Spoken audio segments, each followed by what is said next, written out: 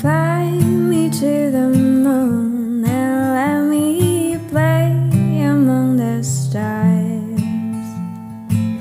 Let me see what spring is like on Jupiter and Mars. And although